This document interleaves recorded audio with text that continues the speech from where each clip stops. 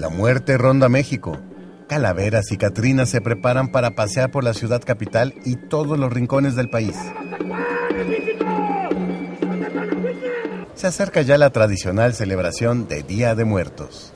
En esta ocasión, el ritual con mayor arraigo será representado con el magno desfile y la gran ofrenda del Zócalo para recordar a los migrantes y a quienes en su tránsito perdieron la vida. Se está hablando además de este reconocimiento a las personas migrantes que tanto han conformado nuestra herencia como ciudad, como quienes seguirán, han pasado y seguirán de tránsito por esta ciudad en busca de una mejor forma de vida, en busca de un futuro importante que sea mejor para ellos y para sus hijos. Reitero, nosotros queremos consolidar el mensaje como ciudad santuario, como ciudad refugio. Por tercer año consecutivo, la Ciudad de México se vestirá de historia, cultura, color y tradición con la celebración de Muertos 2018, que en esta ocasión se realizará del 27 de octubre al 4 de noviembre, con la temática Migraciones.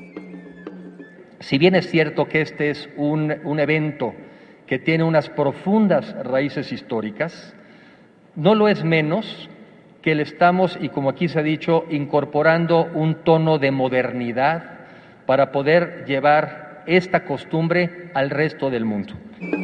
El Día de Muertos es una tradición declarada Patrimonio Cultural Inmaterial de la Humanidad por la UNESCO en 2003.